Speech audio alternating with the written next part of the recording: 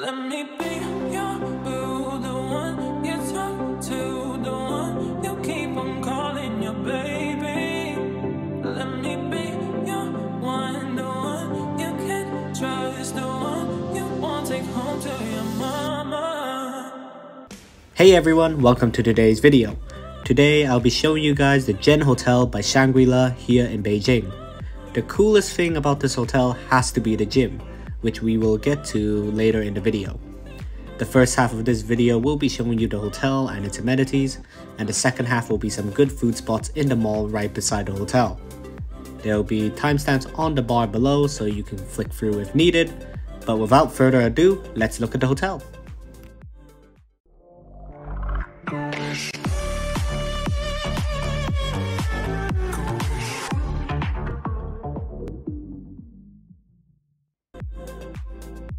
Let's start the tour at the lobby of the hotel and then make our way to the room on the 21st floor.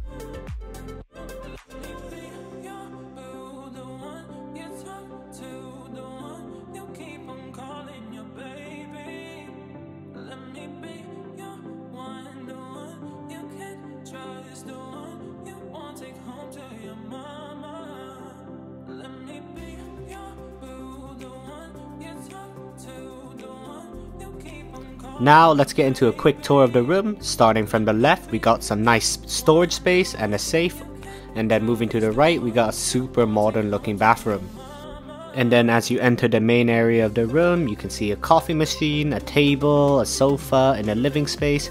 And then on the right, you've got the bed, a TV, and of course the most important thing of the room is its amazing view.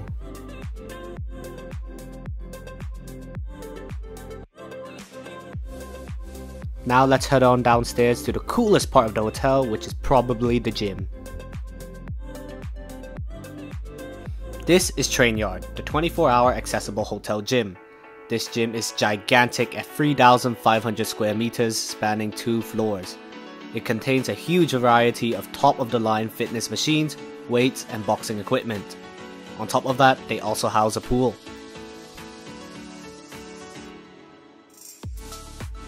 And now let's move on to the most important part for me, and that is the food. And because I was staying at the hotel, I had free access to the all you can eat buffet dinner every night. But obviously, I didn't go every night because there are other places to explore.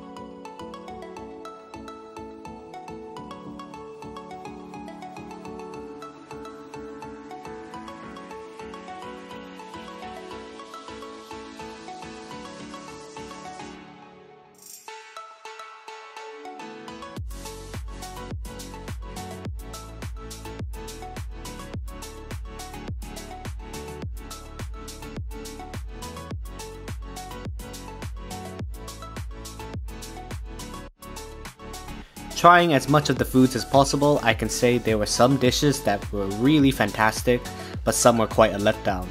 So let's start with my top 3 foods in my opinion of the night, starting with 煎饼果子, which is a Chinese egg pancake with a crunchy layer stuffed with different proteins.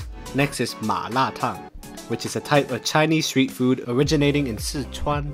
And finally, we have 炸酱面, which is a black bean noodle, a very popular Beijing dish. Some honorable mentions has to be the mussels, crawfish, and the sheep tripe.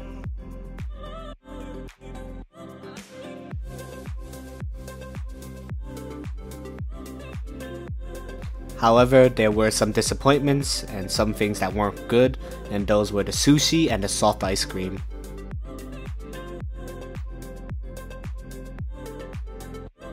That pretty much wraps up the hotel tour. Now let's explore the mall right beside the hotel to see some good food spots.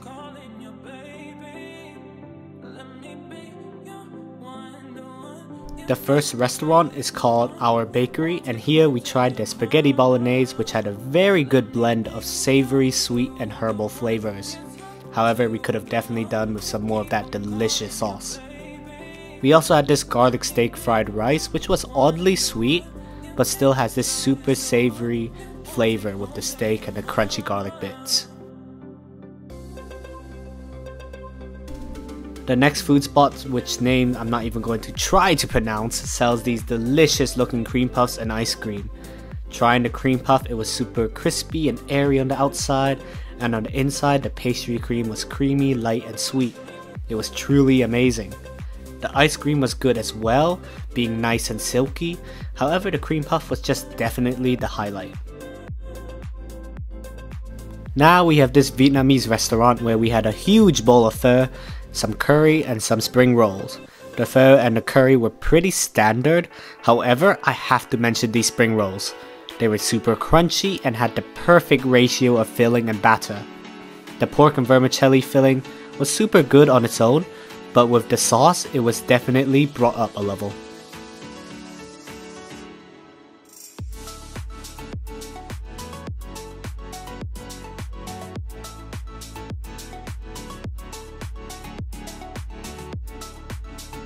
For the final food spot in the mall beside the hotel, there's this really good hot pot place.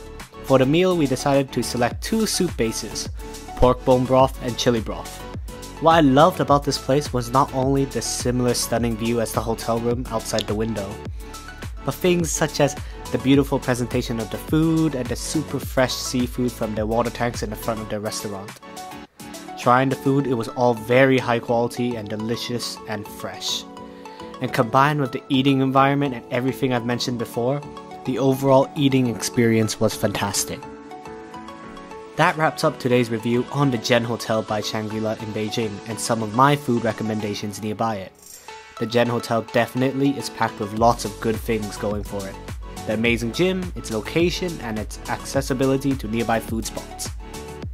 With that being said, I hope you found this video useful and enjoyable. Like and subscribe, and I'll see you in the next one. Bye!